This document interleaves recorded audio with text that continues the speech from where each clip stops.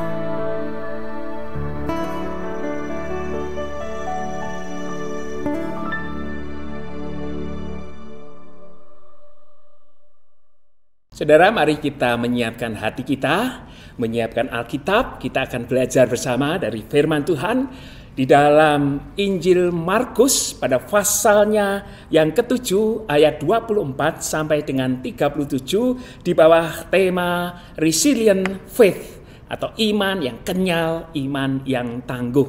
Mari kita berdoa terlebih dahulu mohon pimpinan Tuhan. Tuhan kami bersyukur dan berdoa.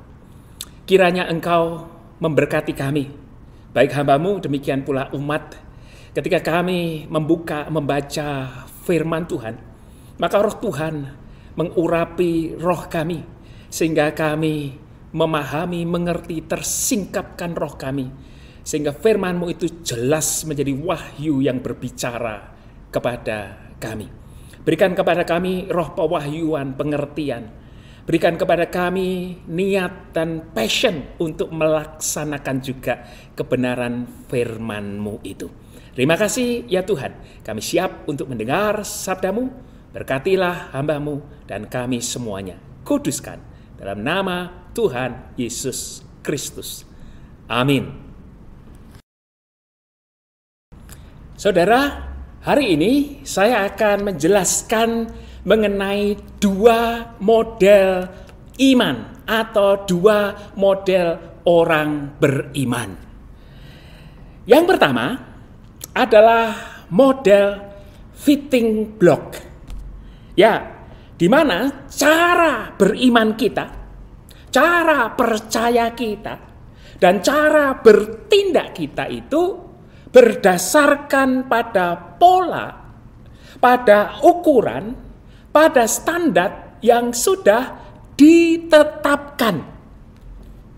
Seperti mainan anak-anak yang dulu dikenal dengan IQ puzzle atau yang dikenal dengan fitting block.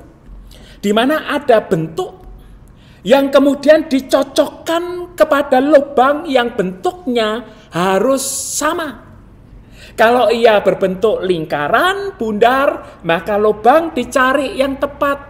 Bagi anak-anak, ini permainan yang menarik. Sebab ketika ia memasukkan ke lubang yang berbentuk bintang, maka tidak bisa masuk. Ia harus mencari lubang yang tepat bundar dan bukan oval.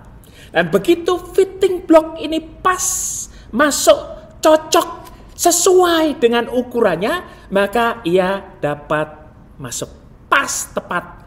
Kalau bentuknya itu bintang, maka itu juga dicari dengan lubang yang bentuknya bintang.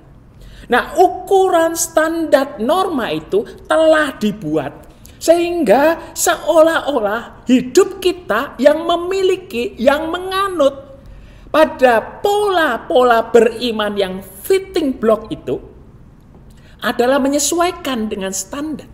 Hidup kita kita bentuk supaya pas. Hidup kita kita olah, kita format supaya masuk. Nah, itu adalah pola beriman kanak-kanak. Itu adalah pola beriman zaman dulu. Dasarnya apakah ada di dalam Alkitab? Ya, di dalam perjanjian lama kita mengenal bahwa Allah memberikan hukum Taurat kepada umat Israel. Sehingga mereka menjadikan hukum Taurat sebagai tuntunan, sebagai standar di mana seluruh hidup kita harus kita format, kita atur, kita sesuaikan supaya masuk di dalam norma hukum itu. Pluk, masuk pas sesuai, cocok, benar. Nah, itulah yang disebut sebagai benar, hidup benar. Kalau kita membaca di dalam kitab Yosua pada pasal yang pertama ayat yang ke-8 yang berbunyi demikian. Yosua 1 ayat 8. Janganlah engkau lupa memperkatakan kitab Taurat ini, tetapi renungkanlah itu siang dan malam, supaya engkau bertindak hati-hati sesuai dengan segala yang tertulis di dalamnya. Sebab dengan demikian perjalananmu akan berhasil dan engkau akan beruntung. Jelas dari firman Tuhan ini, ada beberapa kata kunci yang menarik. Jadi kita harus merenungkan firman itu siang dan malam. Dan kita harus bertindak hati-hati, mencocokkan diri dengan apa yang tertulis dan harus sesuai. Klop, pas, benar. Jika itu dilakukan, itu adalah hidup orang yang benar. Dikatakan itu adalah hidup yang benar. Dan kalau itu dikatakan sebagai hidup yang benar, bertindak hati-hati sesuai dengan apa yang tertulis, maka seluruh perjalananmu akan berhasil dan engkau akan beruntung. Bayangkan, umat Israel bertahun-tahun dididik sejak kecil untuk menyesuaikan diri, untuk membangun diri, membangun mental dan iman percaya dan tindakannya untuk fitting block terhadap hukum itu. Apakah itu salah? Tentu tidak. Ia punya kebenarannya sendiri. Tetapi ada model yang kedua yang sesungguhnya nanti lebih banyak diajarkan di dalam perjanjian baru khususnya dengan kedatangan Tuhan Yesus dan Roh Kudus yang menguasai kita. Nah, model yang kedua adalah model yang disebut sebagai resilient faith.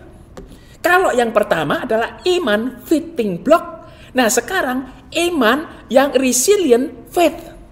Iman yang kenyal. Iman yang seperti karet. Iman yang seperti bola bekel. Iman yang ketika dibanting malah melenting. Iman yang tahan uji. Dan iman ini kalau kita lihat tarikannya ke dalam perjanjian lama itu sudah dimulai dari kitab Yeremia. Itu sudah dimulai dengan bentuk yang saat itu dianalogikan tidak seperti bola bekel atau karet, tetapi seperti clay.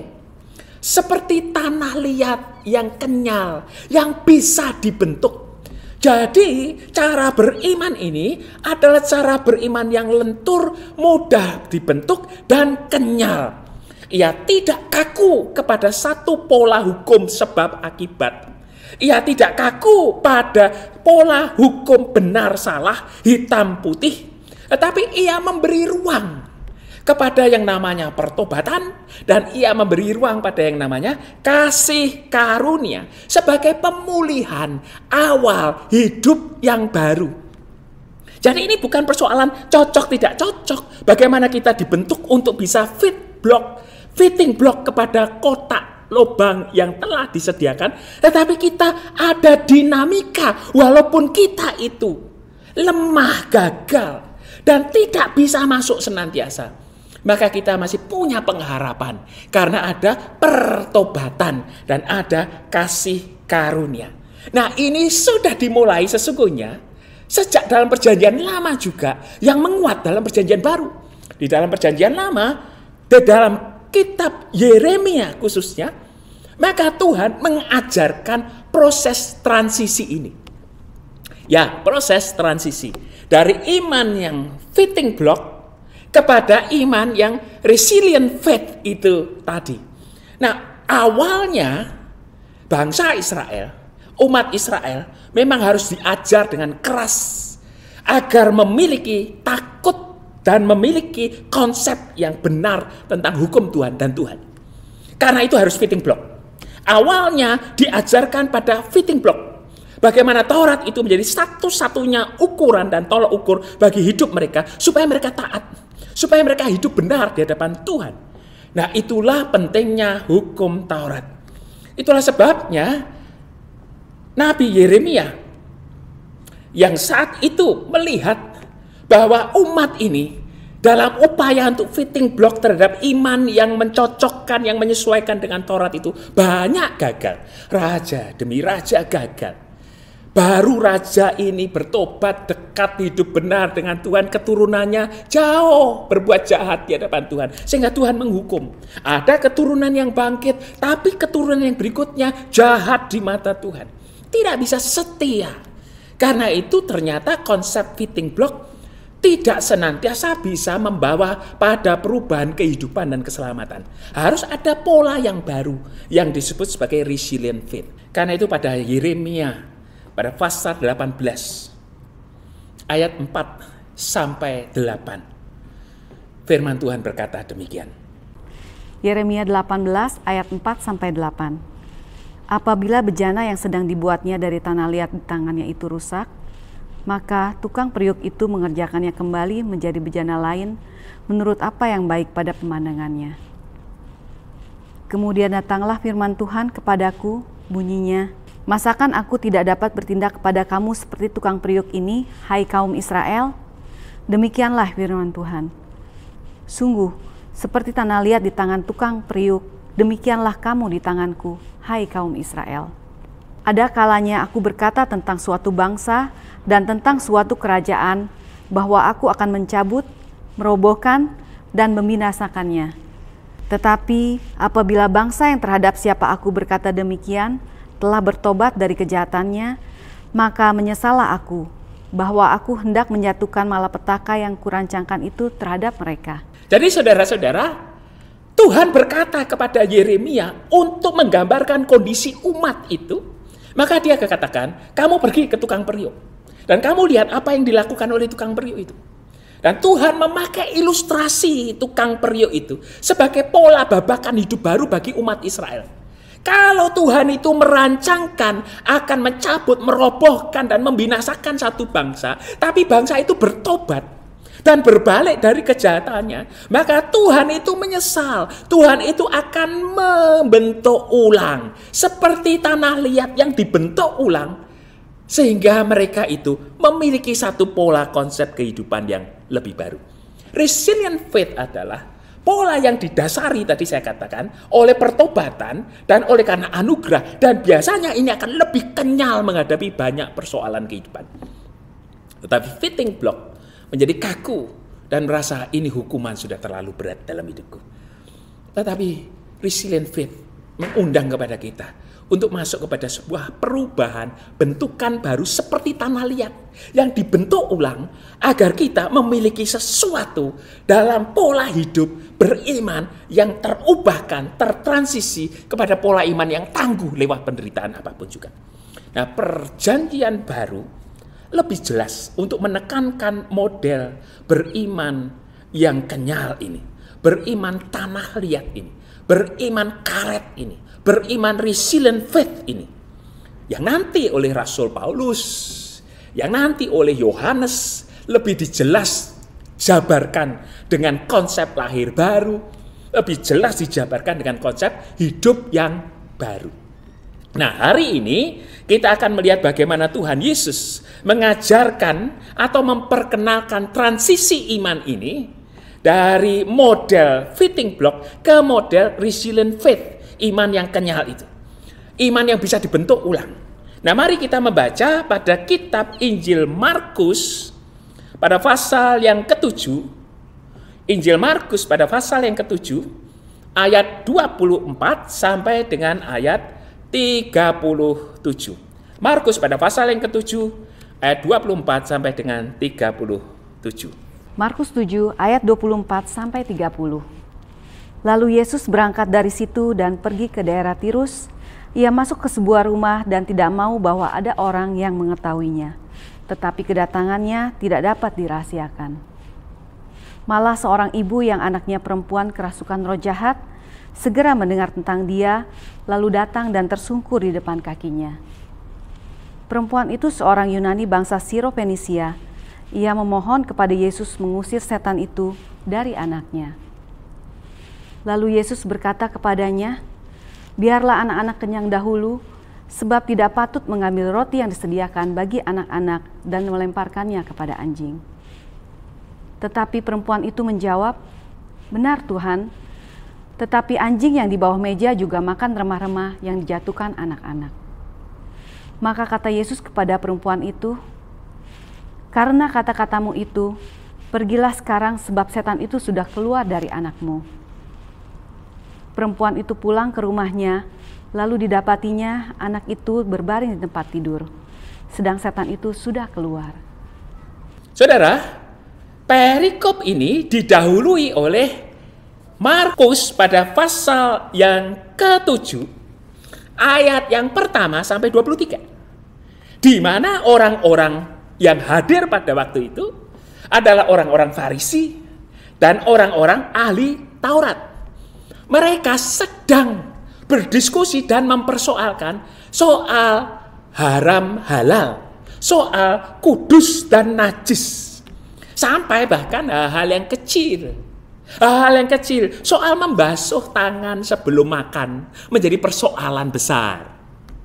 Soal membasuh cawan, soal membasuh perabotan bahkan kendi jadi persoalan besar sehingga ia mereka khususnya ahli-ahli Taurat dan orang Farisi mempersoalkan hal-hal yang kecil itu dengan mengatakan kamu harus melakukan adat istiadat ini, hukum ini, kalau tidak kamu nggak fit dengan kekudusan. Kalau tidak, kamu nggak cocok dengan kehidupan dari orang-orang yang disebut sebagai keturunan Abraham. Orang-orang pewaris hukum Taurat itu. Jadi ada SOP-nya. SOP hukum, SOP tradisi harus dilakukan dan dikerjakan. Oleh sebab itu, Yesus yang mendengar pembicaraan itu. Yesus yang bertatang jawab dengan diskusi orang-orang itu. Yesus jengkel. Yesus bahkan mengutip apa yang ada di kitab Nabi Yesaya. Khususnya di dalam Markus pada pasal yang ketujuh ayat 6 dan 8 Yesus berkata, "Benarlah nubuat Yesaya tentang kamu. Hai orang-orang munafik, sebab ada tertulis, bangsa ini memuliakan aku dengan bibirnya, padahal hatinya jauh daripadaku." Ya, mereka memuliakan Tuhan dengan bibirnya tapi hatinya jauh. Mereka lebih memakai kacamata untuk menghakimi orang lain dan bukan bersyukur. Iman, hidup, percaya yang diikuti dan dirayakan dengan rasa syukur, tapi lebih kepada menghakimi orang lain. Benar, salah, najis, atau kudus. Percuma mereka beribadah kepadaku, kata Yesus. Sedangkan ajaran mereka adalah ajaran dari perintah manusia. Perintah Allah kamu abaikan untuk berpegang pada adat istiadat manusia. Ini adalah contoh konkret dari fitting block faith itu tadi. Iman yang sekedar mencocokkan pada hukum. Karena itu, Yesus mengajak mereka, langsung mengajak mereka untuk pindah ke transisi kepada resilient faith. Caranya gimana? Yesus tidak mengajar kepada mereka untuk berdiskusi dan berbantah. Yesus tidak mengajar kepada mereka konsep-konsep baru karena mereka sudah banyak diajar mengenai hal itu. Kini saatnya Yesus mengajak mereka untuk praktek langsung, melihat langsung, mengalami secara langsung. Karena itu Tuhan Yesus mengajak mereka berjalan melewati batas area kudus mereka. Melewati daerah Yudea mereka. Melewati daerah wilayah yang mereka sebut pada wilayahnya mereka, wilayah kudus, wilayah umatnya Tuhan. Yesus mengajak mereka berjalan melewati batas memasuki wilayah najis Ya, ketimbang yuk berdiskusi soal kendi, soal cawan, soal membasuh tangan. Yuk, aku ajak langsung masuk ke daerah Sidon, ke Tirus, ke tempat orang najis, ke tempat dunianya orang kafir. Nah, di sinilah Yesus masuk dan diikuti oleh para murid dan orang Farisi dan ahli Taurat. Dan saat itu ketika masuk ke daerah Tirus, daerahnya orang-orang yang tidak beriman, orang-orang kafir itu yang oleh ahli-ahli Taurat dan orang Farisi dianggap daerahnya orang kafir itu, Yesus sengaja masuk. Dan bahkan Yesus masuk ke salah satu rumah orang kafir itu. Dan ketika Yesus ada di situ, dikisahkan ada seorang perempuan atau seorang ibu dari Siro Venesia atau daerah Syria yang datang kepadanya yang tersungkur minta kesembuhan anaknya yang kerasukan setan. Tuhan Yesus ingin menjadikan momentum ini untuk mengajarkan hal transisi dari iman yang fitting block itu kepada resilient faith. Karena Yesus dengan sadar, Yesus dengan sadar, karena itu Yesus dengan sadar, ia berkata kepada perempuan ini, ia bukan sedang keseleo lidah. Ia juga tidak sedang melecehkan perempuan itu. Yesus berkata, biarlah anak-anak itu kenyang dulu. Sebab tidak patut mengambil roti yang disediakan bagi anak-anak dan melemparkannya kepada anjing. Markus 7 ayat 27. Ini perkataan yang pedas. Banyak orang salah mengerti seolah-olah Yesus itu sedang mengatakan kepada orang lain itu seperti anjing. Tidak. Sekali lagi konteksnya Yesus sedang mengajar orang Farisi, ahli Taurat untuk masuk kepada ini loh pola beriman yang ternyata bisa menjangkau orang-orang yang lain dan iman itu harus resilient. Iman itu harus memiliki compassion pada belas kasihan dan pertobatan. Karena itu ia sengaja berkata kepada perempuan Sirofenisia yang datang minta disembuhkan anaknya dengan mengatakan, apakah layak Apakah layak untuk memberikan roti ini kepada anjing sementara anak-anak belum makan? Sekali lagi ini bukan pelecehan. Ini bukan penghinaan kepada seorang perempuan, perempuan Siro Venesia dengan menyamakan dirinya dengan sebutan anjing. Tetapi ini adalah perumpamaan.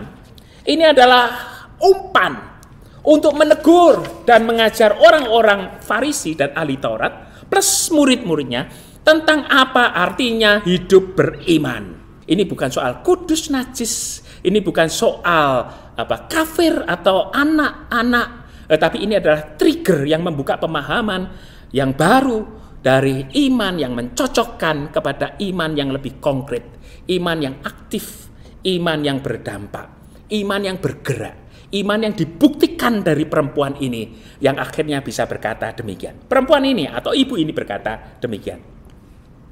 Benar Tuhan. Tetapi anjing-anjing di bawah meja juga makan dari remah-remah yang dijatuhkan oleh anak-anak. Itu Markus 7 ayat 28. Nah jawaban ini yang ditunggu-tunggu oleh Tuhan Yesus.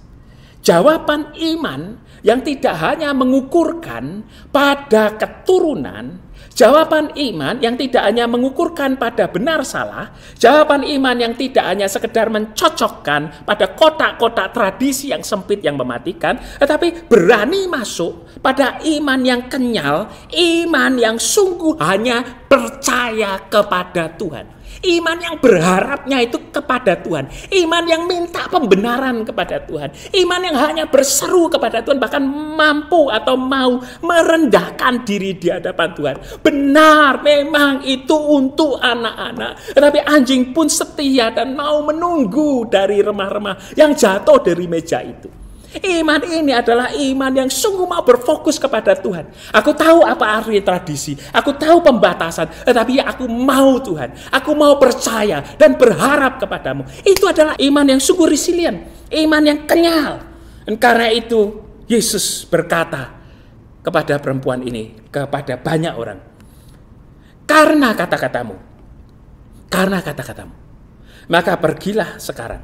Sebab setan itu sudah keluar dari anakmu. Itu yang dikatakan oleh Yesus dalam Markus 7 ayat 29. Dan di dalam Injil Matius yang paralel dengan itu. Kisah yang sama dengan itu. Versi Matius berkata, Hai ibu, besarlah imanmu.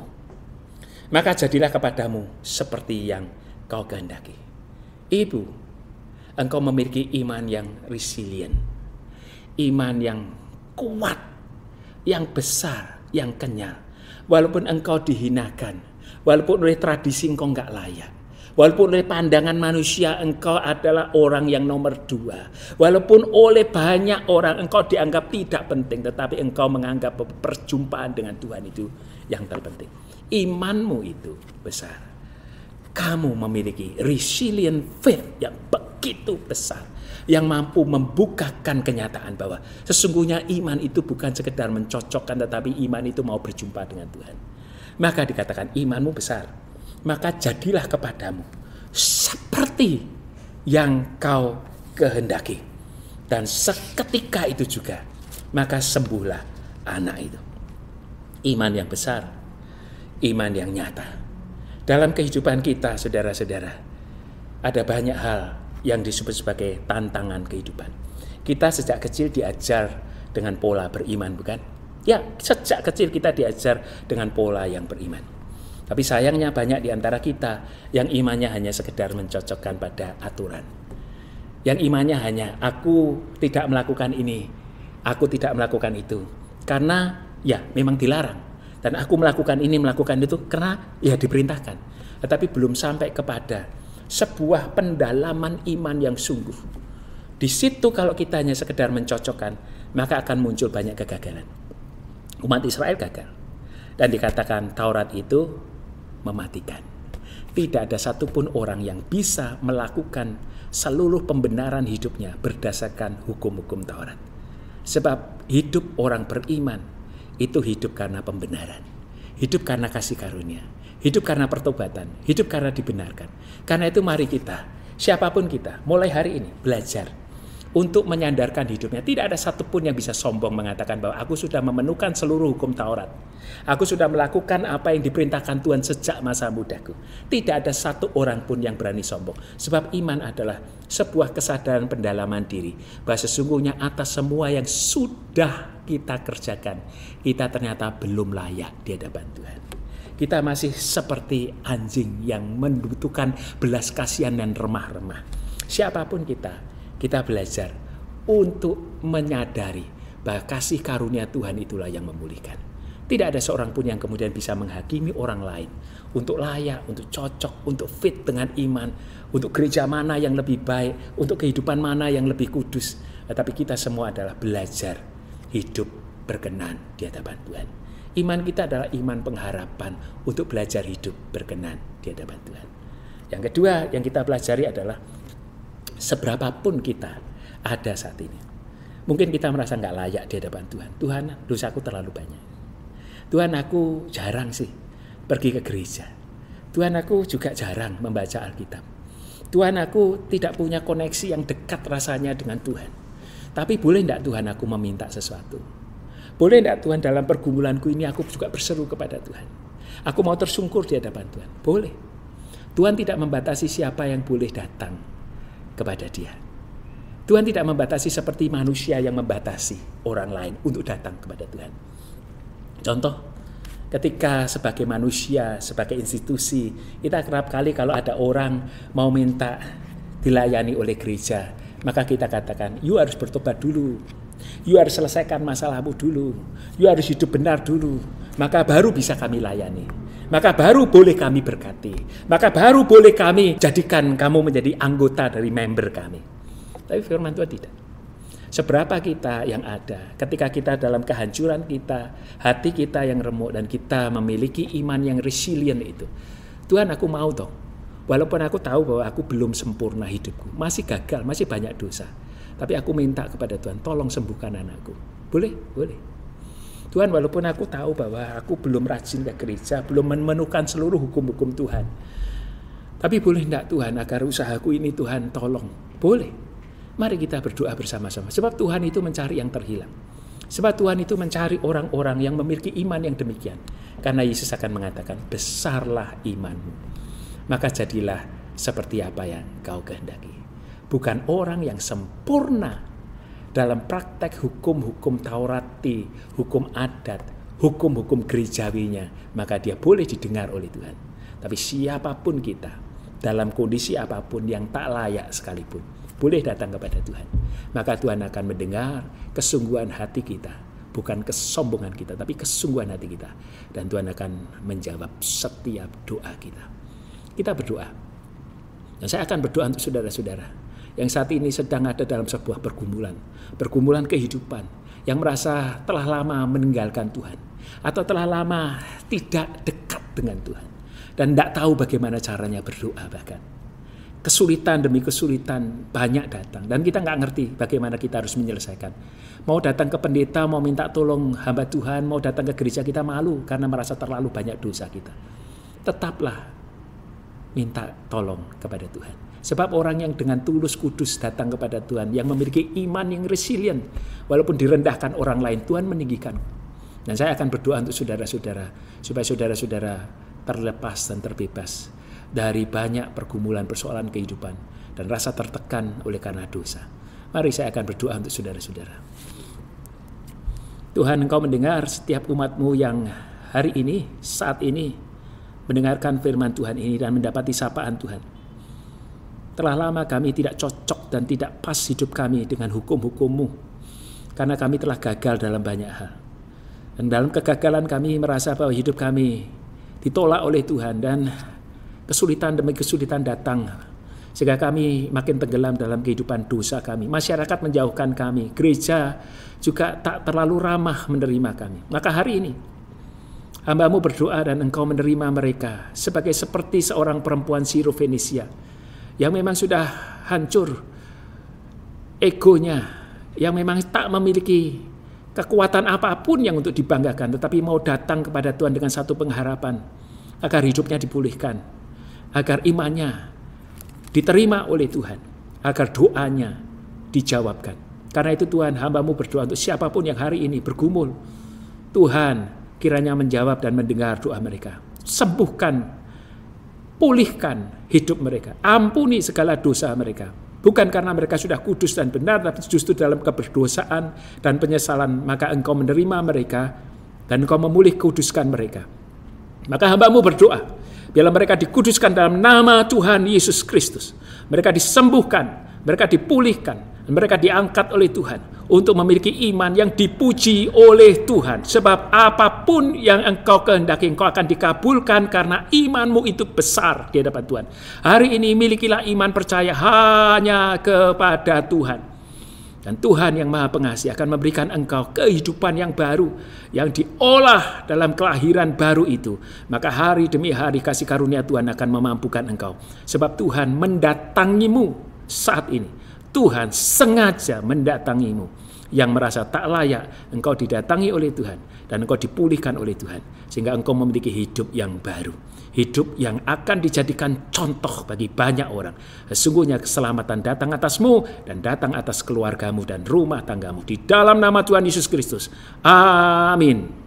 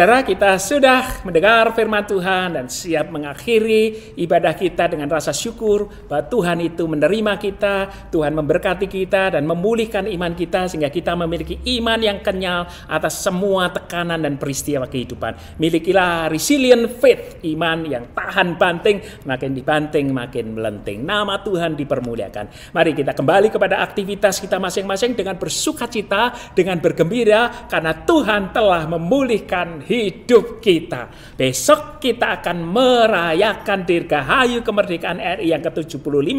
Rayakan juga dengan rasa syukur karena Tuhan membuat kita tangguh melewati peristiwa demi peristiwa kehidupan ini. Mari kita berdoa dan terimalah berkat Tuhan.